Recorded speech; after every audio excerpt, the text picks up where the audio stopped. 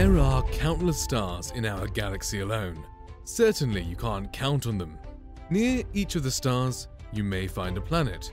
They are called exoplanets, and some of them may be in the habitable zone and have everything for life to form on them.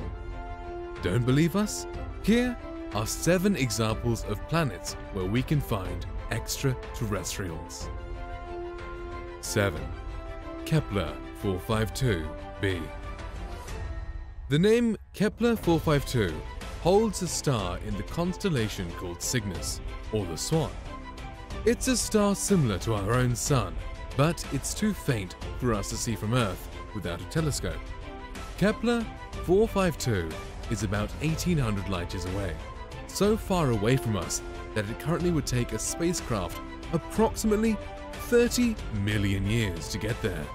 At least one possible sibling orbits the star, Kepler 452b, and astronomers are seriously considering it could be home to alien life. Could be true. Kepler 452b is also called Earth's cousin or Earth 2.0, and some astronomers have nicknamed it Coruscant, the home of the Galactic Empire in the Star Wars films.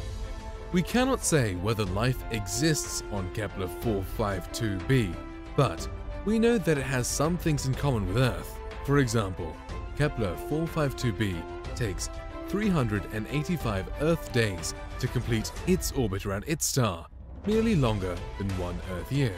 Astronomers relate the planet to the Goldilocks zone, meaning that the planet's distance from its star is just perfect, making it not too hot and not too cold for life to exist.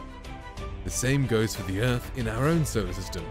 In contrast, Venus is too close to the Sun and is so hot that water would boil. Musk's beloved fantasy. Mars is too far away from the Sun and cold that water freezes. But our Earth and Kepler 452b are both at just the right distances from their stars, meaning that water might be liquid at temperature between 32 Fahrenheit and 212 Fahrenheit. 6. Teegarden B. To be exact, not only one, but two planets close to each other can be inhabited. A pair of researchers has found evidence that suggests two of Teegarden's star planets are the most Earth-like yet found. In 2003, scientist Bernard Teegarden led a team that found what is now known as Teegarden Star, a red M dwarf star about 12.5 light years away.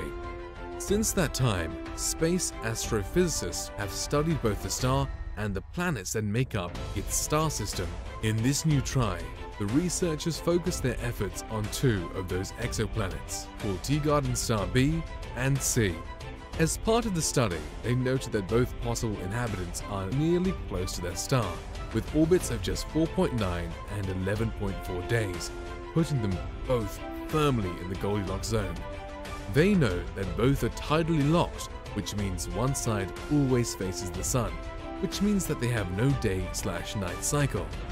5. K272e Back in 2016, NASA's Kepler Space Telescope spotted four possibly rocky alien planets orbiting the same star, and two of these marvelly found worlds might be capable of supporting life.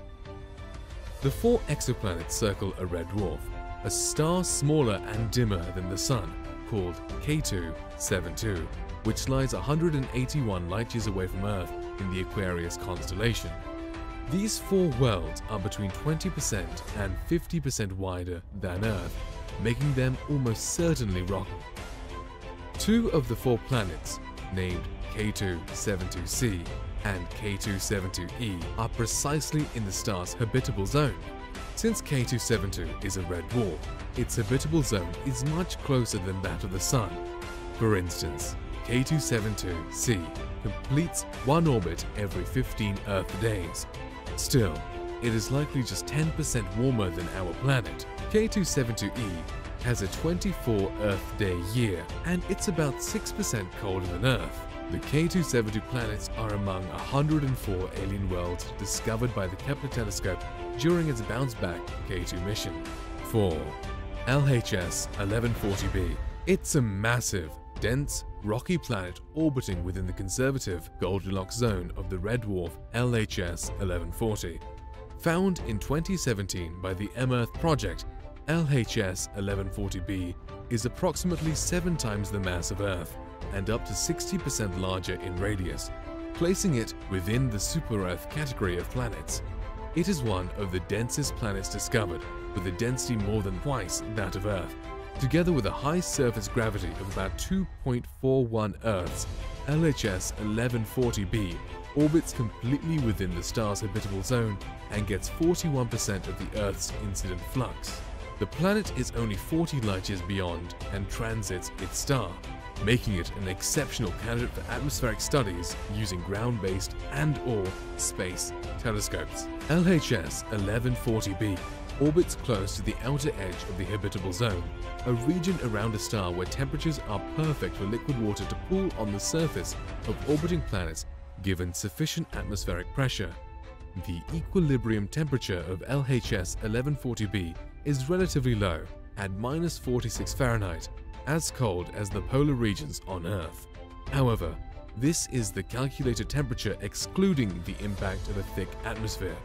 With an Earth-like greenhouse effect, the surface temperature is about 19 Fahrenheit. Still, since the planet is so massive, the greenhouse effect may be even higher. 3. TRAPPIST-1 The star we today call TRAPPIST-1 was initially discovered in 1999 by astronomer John Gizis and colleagues. 17 years later, scientists announced that they had discovered three planets around the star with the transiting planets and planetesimals, small telescope, TRAPPISTs, in Chile. To honor the telescope, scientists began referring to the star as TRAPPIST-1. NASA's Hubble Space Telescope was also used to find that TRAPPIST-1b and C were unpromising to have hydrogen-dominated atmospheres like the ones we see in gas giants. This confirms the case that these planets could be rocky and possibly hold onto water. This result was published in July 2016. Using NASA's Spitzer Space Telescope and ground-based telescopes, astronomers found that the system had seven planets in total, and three of these planets are in the potential habitable zone. 2. Proxima b.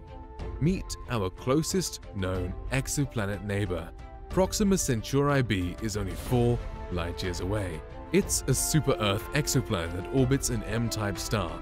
Its mass is 1.27 Earths, and it takes 11.2 days to complete one orbit of its star. The grand discovery was announced in 2016.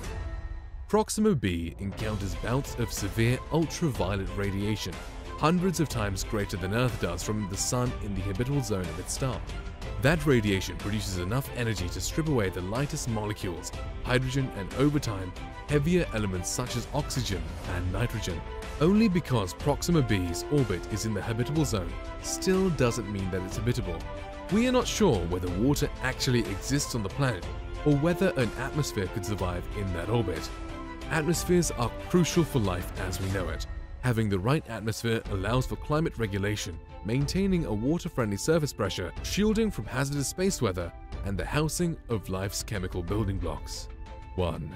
TOI 700d Our last planet on the list, TOI 700d, was discovered by the Transiting Exoplanet Survey satellite, TESS.